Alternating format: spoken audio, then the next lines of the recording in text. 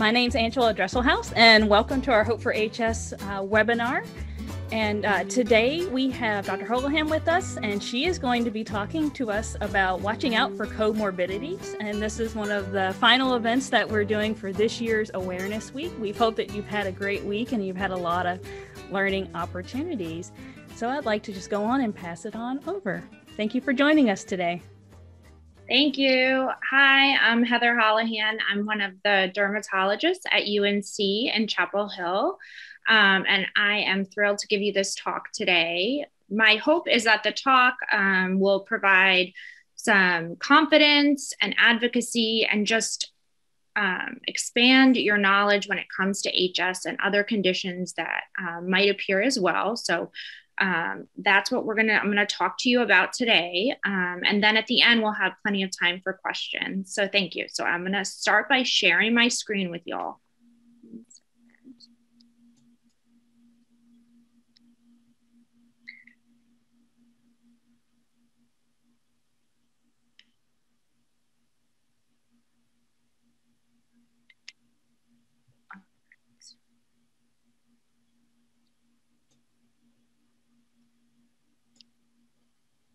Okay.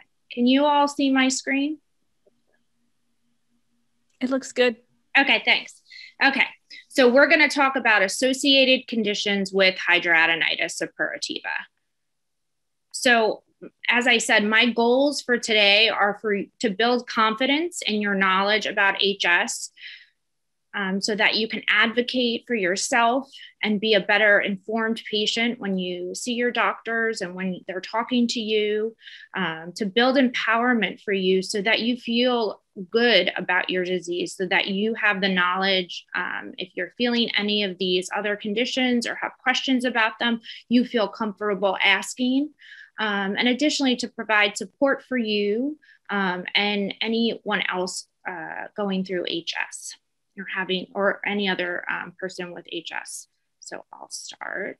So the first couple um, conditions we're going to talk about are just skin conditions. So hidradenitis can occur on its own, or it can have some associated skin conditions. One of them is acne. Um, so traditionally, we think about acne on the face or the chest or the upper back. Um, but it can be associated with HS because we think that both diseases involve um, the hair follicle as well as the oil gland, and they're situated in a complex in the skin. And so we think that plugging or bacteria overgrowth with that plugging of the oil glands and the hair follicle can contribute to acne formation, as well as those boils or uh, painful um, and uh, inflammatory bumps that you see with HS. The second condition is called dissecting cellulitis of the scalp. And so, what this has been referred to, which I think is a bit easier um, to just think of, is just having HS, but it affecting the scalp.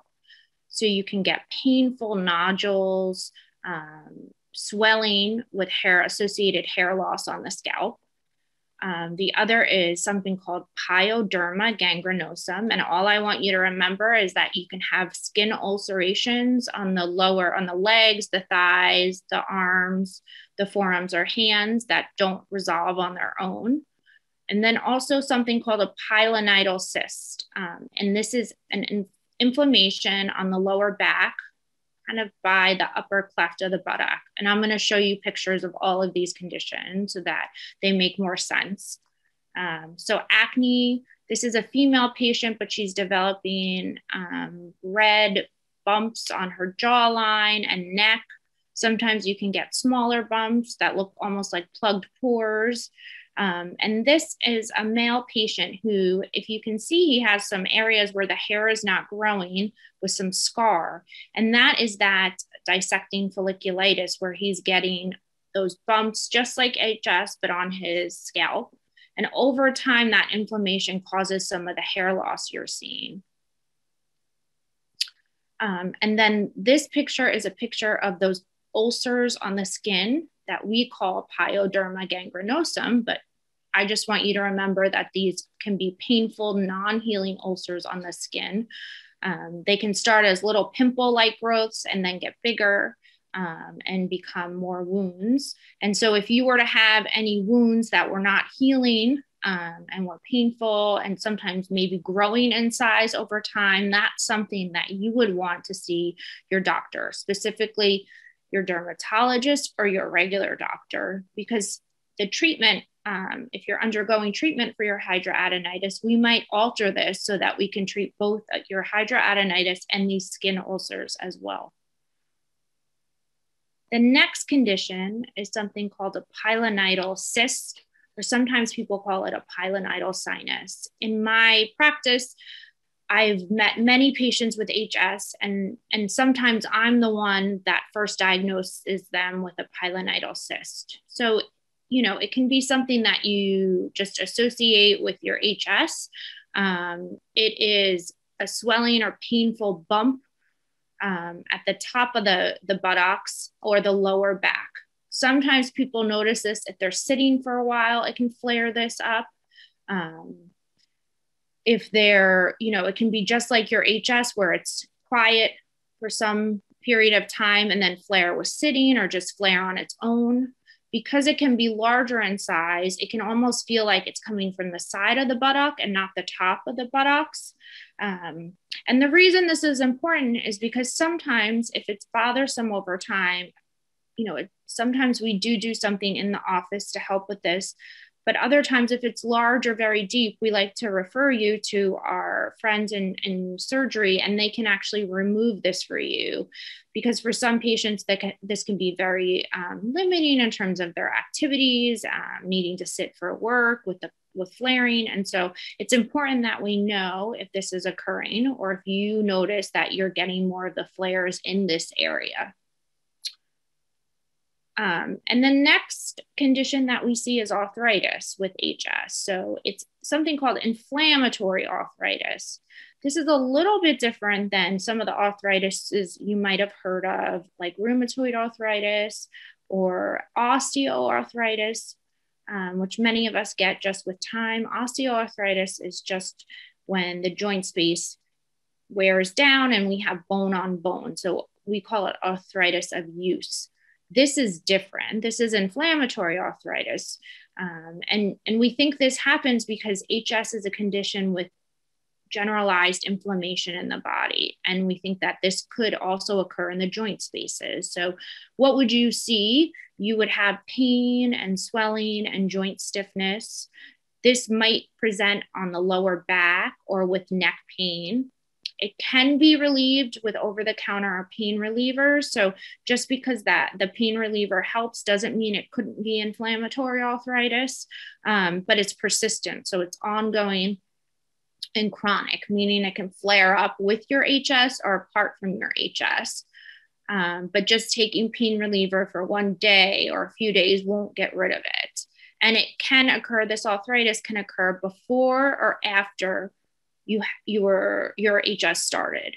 So if you have any question about the joint pain or swelling in your hands or, or knees or elsewhere, this is something you'd want to um, direct your doctor's attention to.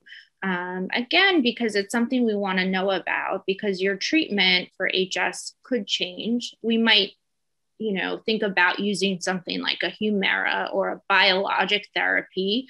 And so, and the reason might be because it would treat both your HS and the arthritis that's that's happening to you. Um, this second problem is something I'm personally interested in with our HS patients anemia um, and so anemia is when the red blood cell count is lower than normal. And so the red blood cells carry oxygen to our tissue, tissues and elsewhere in the body. So anemia means that your red blood cell count is lower than we would expect for, and we divide that by your age and sex. Um, and so this can happen. Some of my HS patients, just from the drainage that they have, there's some blood with their drainage. Um, and then sometimes you can have lower red blood cell counts when you have a more persistent medical condition like HS, like rheumatoid arthritis. Um, and so, what are the signs of this that you might experience? You could have increased fatigue or tiredness with physical movement. So, going up the stairs causes your heart to race. You feel just overall tired, no matter how much sleep you get at night, you still feel fatigued or tired. Um, sometimes people notice that you might look more pale compared to your normal, or they might notice the lower part of your eyelid rim um, looks paler. Um, you can also have restless legs, or what some people have described are like the Charlie horse, feeling that aching in your legs at night. Um, these are all some of those symptoms. When we first see you at UNC, we do, um, in our HS clinics, we do get regular blood work. So we would see if you had anemia. And depending on whether or not you had anemia and, and the type, we might start iron pills over the counter, or sometimes iron infusion is needed. Um, and sometimes the anemia gets better as we treat um, your HS. But it is definitely something that we want to be on the lookout for because it can cause a lot of fatigue um, and limiting symptoms. So you you know you're not going to want to exercise and do other things if you're feeling tired all the time or weak. Um, so that's why it's important for us to know.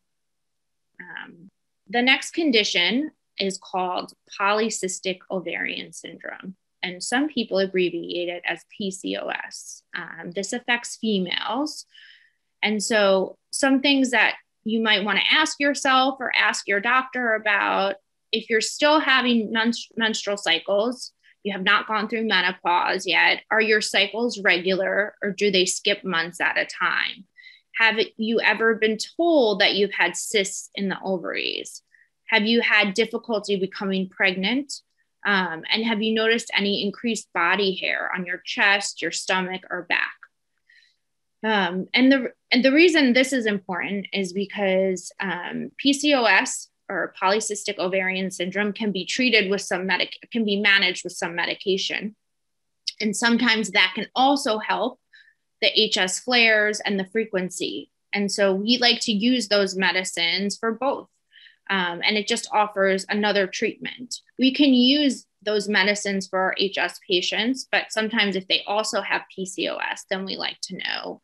Um, sometimes PCOS can also present as having some um, sugar control um, issues that we need to know about. So sometimes sugar control can be hard if you have PCOS. And so that's, we like to know that so we can help with that. And also guide your primary care doctor if they haven't diagnosed you with that already to let them know to keep screening for the glucose or sugar in your blood to make sure that that is within normal. Um, and other medicines we might use are um, will help with flares around your hormonal cycle for females, which can also help with PCOS as well. Um, so that's why it can be important for us and for you to know about.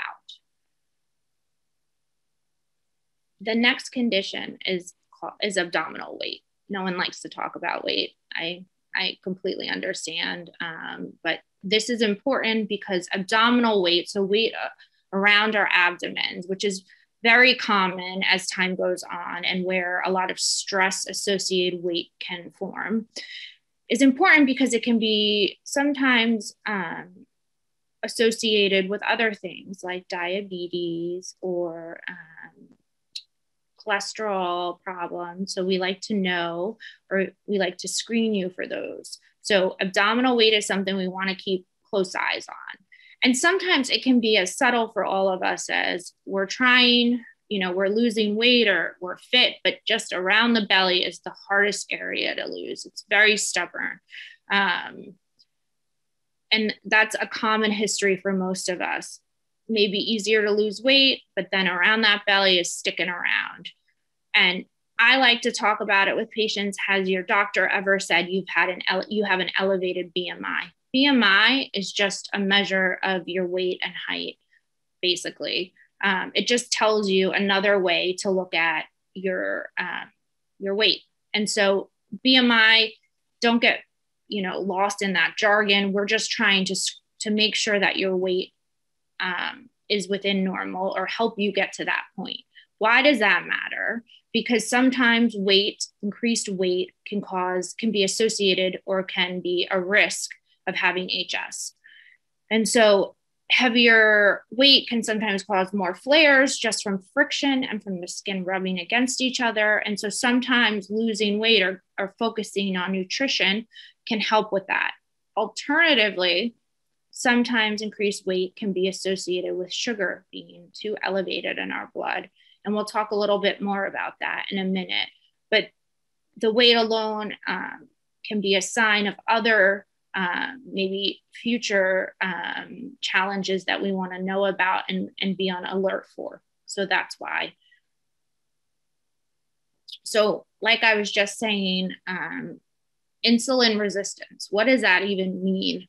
So, insulin resistance just means that our body, our pancreas releases insulin. Insulin is like the little, little delivery man, brings the sugar into the body. If insulin, if your body is resistant to insulin, the sugar is not getting into your organs and where it needs to go. And it's just floating around and it can cause some damage um, and some destruction if it does that. And so we want all the insulin to be absorbed in our body and to carry the sugar into our body. Um, and so insulin resistance is just telling us that all the sugar, it might not be getting where it needs to go. And it's it's just hanging around and causing trouble it's loitering, so to speak, in our body, and we need it to go where it needs to go. Um, and so, some other words for insulin's resistance, so it can be not to get you know stuck down in the the titles of things, but other words can be pre-diabetes or diabetes mellitus. Um, so I screen all my patients with HS for this um, unless they have a known history of diabetes and just had this screened, because I like to know um, if they have pre-diabetes or diabetes. I've diagnosed several of my patients with diabetes and pre-diabetes. Um, it's a very common condition, and I think the goal with it is just to keep it in control. And then every day becomes it's not something that's going to challenge you every day. It's something that we keep in control. And the reason we want to is because hs can flare if your sugar is elevated. The better the sugar is controlled the better your hs can do. And so what are some things that you might have heard before from a doctor or just heard around? You might have been told that your sugar level is elevated or abnormal. I ask patients, any family members, mom, dad, siblings with pre-diabetes, diabetes, um, have you ever noticed darker patches of skin under your arm? So the armpit area, the back of the neck, the knuckles of the hands. That can be a sign of pre-diabetes or di- diabetes. So, what can we do? We can make sure that our physician has a good check on the, our sugar average. So, how do we check our sugar average? It's something called hemoglobin A1C. You don't have to remember that term, but we as doctors can check your sugar level for the past three months. Um, and that gives us an idea of how things are going. It's very easy to do. Um, but you want to make sure that your sugar levels are within normal. And if they're not, then we do something to help them. And that in, in turn can help the flares of HS and the severity of HS. The next um, topic are lipids. So, lipids, what are they? Lipids are just cholesterol in general. Um, and so, sometimes we can have elevated cholesterol when we have HS. So, why is cholesterol bad? Cholesterol is bad because if you look at that picture, those round red particles are the blood in the artery. That cholesterol is kind of sticking to the sides of the artery. It's very sticky. You could think of it like that. And it's blocking the blood flow through that artery. We want all the blood flow to go through nice and easy, no limitations, no narrowing.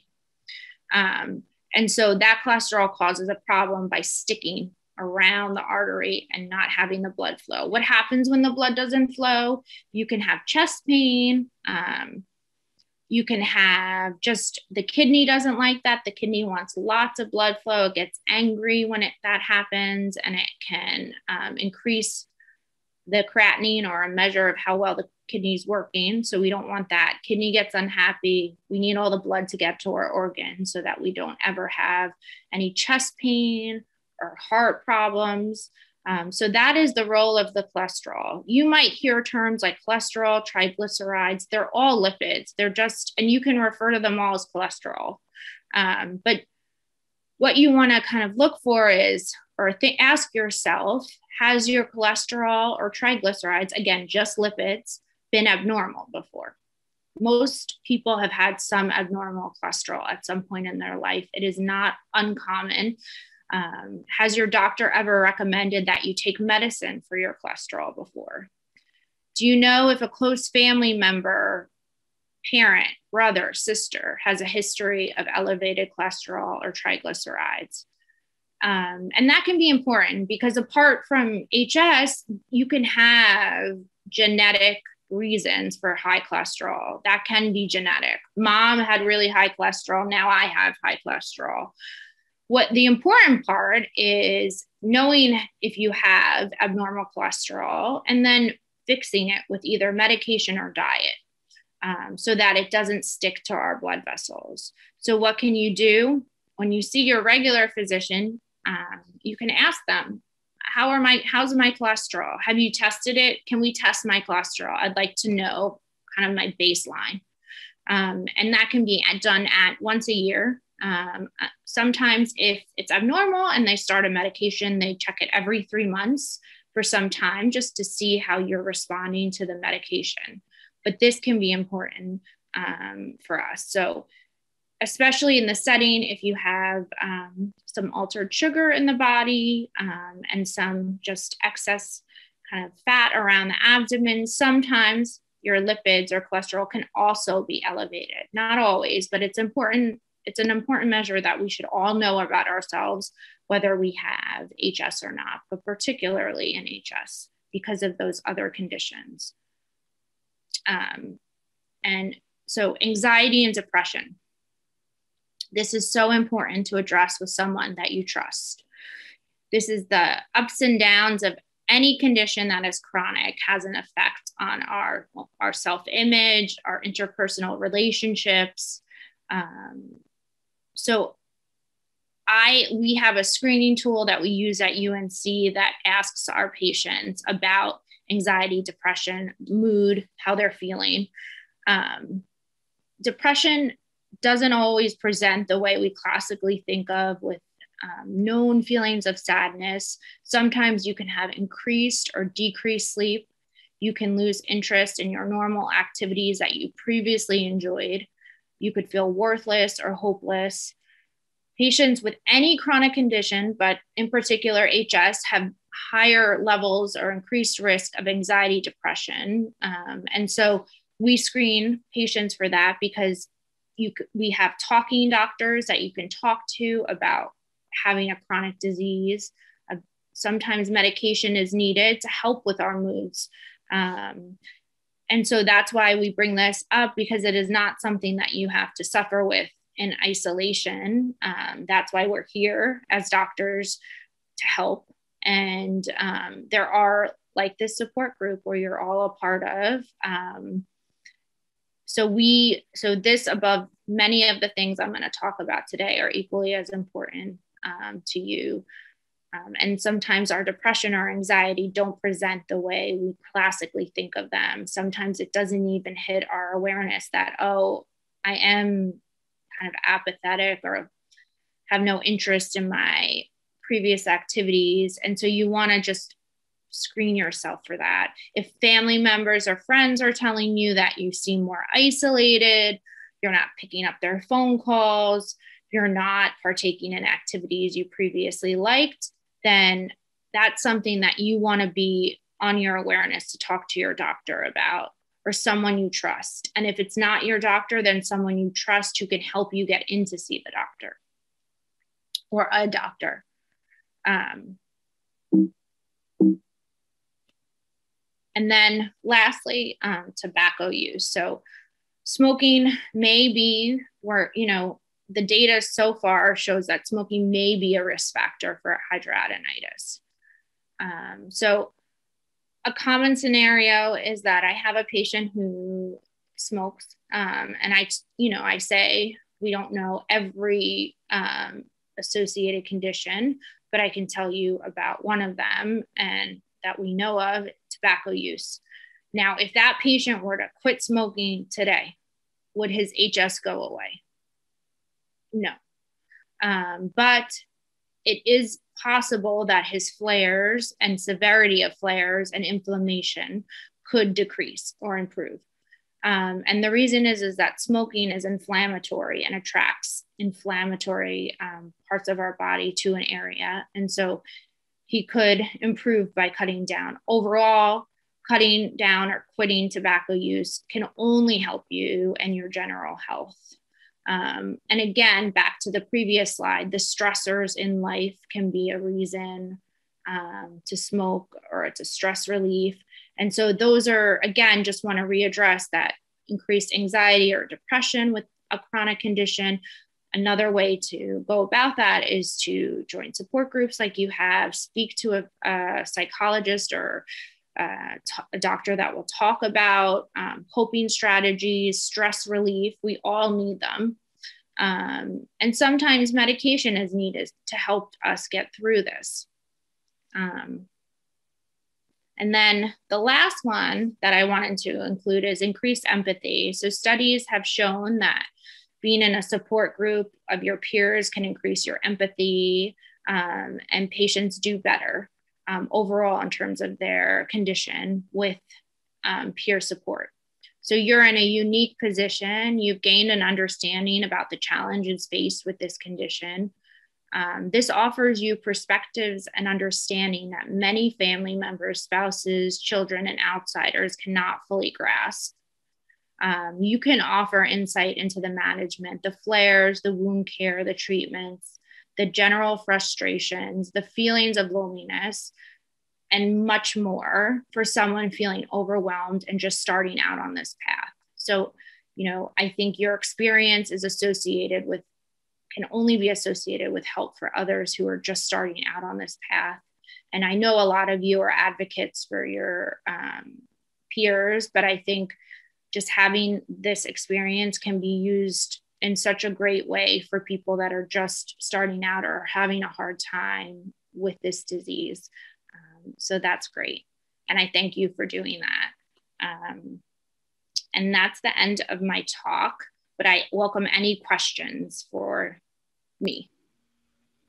Okay, so one came in. Um, I'll read it. It is yeah. Are vascular calcifications a comorbidity with HS or other chronic inflammatory diseases? And if so, can we do anything to treat this condition once we already have them? Yes. Um, yes. So the, the answer is yes. It is uh, comorbid, just means that having one condition might increase the risk of having another condition. So, because you have, let's say, HS, you could be at risk for condition XYZ. So, we see this with psoriasis, which is another skin condition. Um, it's thought to be inflammatory as well in the body. So, not just on the skin, it affects the joints. Um, and like I was, we were, you were just asking cholesterol. Um, and so, once you have calcification in the arteries, which probably a majority of us have just as we age right? Um, you want to you want your doctor to start you on a cholesterol lowering medicine. And sometimes it can be more than one. And the goal is that you're not increasing the amount of sticky cholesterol around the arteries so that they don't narrow too much. Um, sometimes your doctors if there's any concern will have you do a stress test where um, you exercise or you're they give you something to act like your body's exercising you don't always exercise physically and they see how the heart looks in reaction and make sure that all the arteries are nice and clear and there's no chest pain or problems. Um, but that would be something your primary doctor would work you up for or a cardiologist. So the goal is to be told your cholesterol or lipids are abnormal and then to treat and to follow up with them every few months to see your response to treatment. and sometimes they you know they they advocate your doctor will advocate for um, putting you on or avoiding high cholesterol foods to help in addition i'm not an expert but um, that's genuinely what we learn i'm sure they have a, whole toolbox um, of medications and interventions but um, just diagnosing you and getting you there is most important Okay, another question. Do you recommend any special diet? Following Dr. Danby's work, I stopped eating dairy and yeast, and I think it might be helping, but it's only been a few months. Yeah. Um, in regards to HS in general, or? It doesn't say specifically, but my guess is yes. Okay. So, um, if you think it's helping, I will never argue against that because I think that there are, I think diet in general, I will say, is hard to, to measure. We've looked at diet and acne, and it's hard. What we've found is that dairy probably is the most, um, most um, at risk of causing an um, acne flares, but Ironically, it's skim milk that they've isolated, um, which seems kind of counterintuitive because you think sometimes more healthy, but probably the processing might put it at risk for causing more acne flares. With HS and acne, it's really hard to measure how people eat and what they eat. So for acne, when they think about acne, they think about teenagers. Asking teenagers to write diaries of their food intake is really unreliable. And putting people on restricted diets can be kind of um, not always thought of as a great way ethically to measure things. So um, I feel the least comfortable with diet and HS in that I think that people have talked about anti-inflammatory diets and avoiding nightshade and other foods. Um, and I think we just don't know. I think the data, it very well could be that dairy um, plays a large role in flares, but the data is is lagging behind. And I feel when my patients tell me I've avoided this and it's helped, then I don't argue and I agree. That being said, I don't want anyone to feel like they have to drastically cut something out of their um, their diet at this moment um, because I would say the data is still we're, we still don't have the data to support that.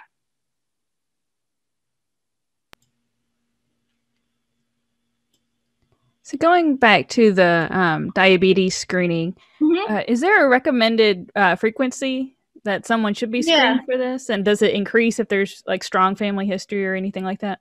I think annually is usually what we recommend if it's normal. If so once a year is usually sufficient. If it was um, abnormal, then usually we screen every three or so months to see. And, and that can be, I should track back for a second.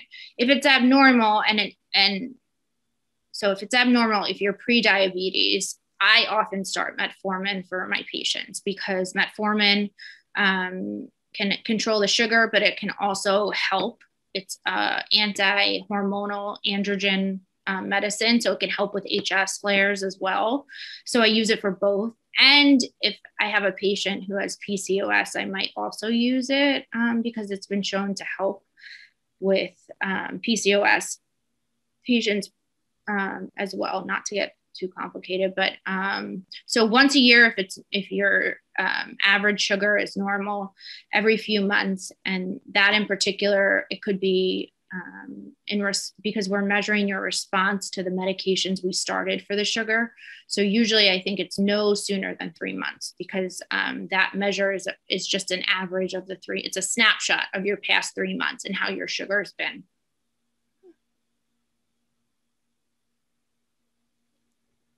Okay, I'm checking all the places and I don't see any more questions. Um, so I, I, think that that might be it. So thank you for your um, time today. We really appreciate you taking time out, especially on a Sunday, to have a chat with us about HS and other diseases. And I don't want anyone to feel overwhelmed by, I went through a lot of different conditions. You may never encounter one of these conditions at all.